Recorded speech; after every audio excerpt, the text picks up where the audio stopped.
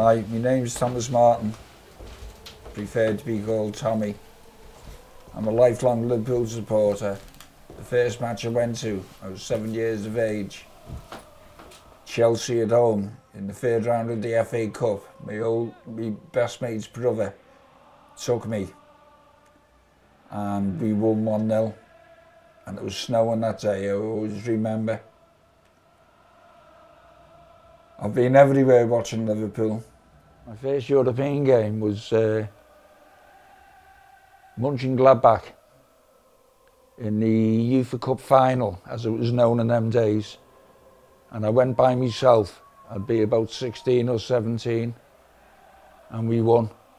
It was a camaraderie Liverpool supporters in them day, we all knew each other because we all went the away matches and the home matches, you all knew each other. But I never went with any personal friends, but you knew people from the match. And that's the way it was. You recognised faces, and you felt safe. Well, the best one was Rome we went on the 25th of May. We beat Mun Mönchengladbach again. And I came home in December, which is a different story. So we left here 10 o'clock in Crosby, Friday night. We got to Wembley to watch Liverpool play in the FA Cup final. We got beat by Man United, so we were gutted. Then we left King's Cross, six o'clock. Sunday morning, travelled across Europe, got to Rome six o'clock Monday morning. I've even got a picture here that appeared in the local paper saying first fans in Rome. It was just an experience of a life. To follow Liverpool FC was not just a football team.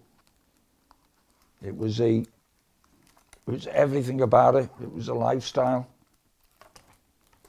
you just had friends from all over who followed Liverpool, and we all seemed to just gel together. There's the ticket from the match, which I never used. There's the picture from the local paper, the Liverpool Echo, and my mother got that for me, which is that picture there, the first fans in Rome. And what we noticed in Rome was because there's two teams in Rome. It's Roma and Lazio. Every Lazio supporter would come up to you and say to you, Forza Lazio, Forza Liverpool, forward Lazio, forward Liverpool. Because they hate each other, like every two teams in one city hate each other. And it was just a fantastic experience. But following Liverpool is just, it was, in them days, it's so much easier. We got to Rome. How are we going to get in the match? You could buy your tickets from a vending machine. Like you go here to buy cigarettes out of a vending machine. You could buy your, your football tickets from a vending machine. It was crazy. It's people who follow football now don't realise how much fun it was in the old days to follow it. Henderson for Salah, it's a superb pass. And Coleman did his job in the nick of time again.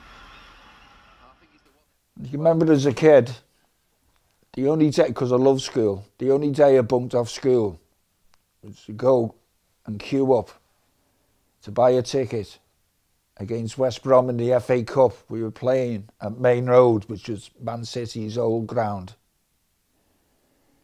And we were bits of kids. We were in the car park.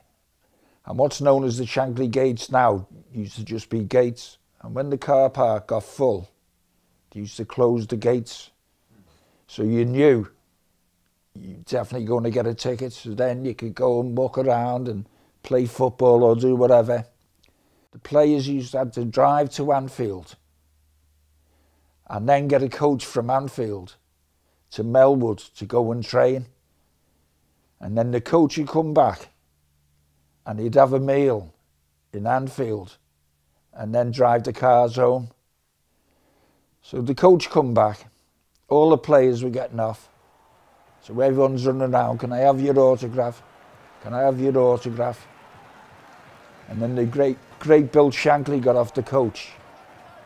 And we all ran over to Bill because he was like a magnet to Liverpool fans. We all ran over, all bits of kids, you got to remember, but you're only, can I have your autographs? Bill, can I have your autograph? And to this day, I remember he said, we were playing Leeds that Saturday away. Who's going to Leeds on Saturday? Or in how he spoke, who's going to Leeds on Saturday? And me and me mate put our hands up and he went, come forward.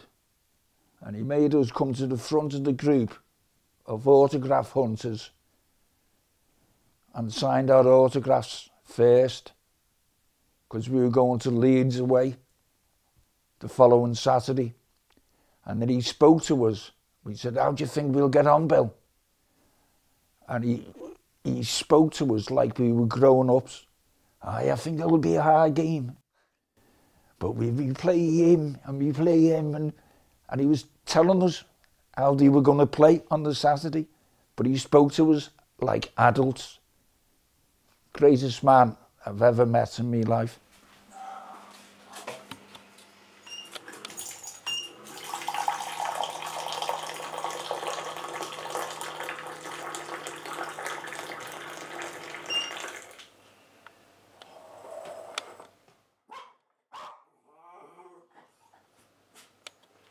Nick, he's a Liverpool fan. His dad's an Everton fan. But I used to send him Liverpool memorabilia over. But it was because of Michael Owen I didn't realise how big Michael Owen was round the globe. It's because of Michael Owen that Nick started following Liverpool. And when I heard, I started sending them Liverpool stuff over. So they come over one Christmas. And we goes to the match, I got my brother a ticket and my nephew a ticket. Nick had only be about, you were, you were only like so big. So Nick had only be about uh, 11 at the time. Goes to Wembley, uh, goes to Anfield, watches the match, Blackburn at home, nil-nil, horrible game. Comes out, met me brother Spike, afterwards and I said, uh, should we get off? And he goes, no, our Nick wants to go and get Michael Owen's autograph. So they went in the car park and I said, well, I'll meet you down the King Harry, which is just down the road. Meet you in the King Harry. So he come back about half an hour later. I said, you get his autograph, Nick? And he went, no, he wouldn't give me it. And I went, oh, what? He was a horrible person, Michael Owen to the fans. So I said, what do you mean? He wouldn't give you your autograph? He said, well, there was these local lads, little scout scallywags, heard his Californian accent and said to him, what are you doing here, mate? And he went, well, my dad's from Liverpool originally. And I support Liverpool. I'm going to get Michael Owen's autograph. And he went, ah, oh, he won't give you your autograph. He said, he's a knobhead. So Nick didn't know what a knobhead was like, being from California. So anyway, Michael Owen comes out. Nick runs over to him and asks him for his autograph. And he went, no, I can't. The police won't let me stop because they'll cause a commotion. So we comes home, we were living here then, we just moved round here. So we come home, walked in, Holly, my sister-in-law, is born and bred in California. Hi, Nick. Do you have a good day? Yeah. Do you get Michael Owens' uh, autograph? No, he's a knobhead, him. and I looked at him and said, Holly, it wasn't me that, that taught him that expression. It wasn't me. I was on the bus going to the match today, and I met a guy from Iran who come over because he was a Liverpool supporter from Iran. I meet people who have always gone the game, and the difference in watching the present Liverpool side to the other sides over the last couple of seasons is we have to walk up this brow, which is a hill called Brownlow Hill, to get to the game. And you used to walk two seasons ago as it was a necessity because you were a Liverpool supporter. You thought you had to go. But now I walk up there with a spring in my step. Win, lose or draw, I enjoy watching Liverpool in this present season.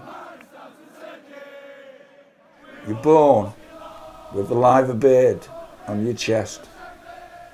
Once a red, always a red. Red till you're dead.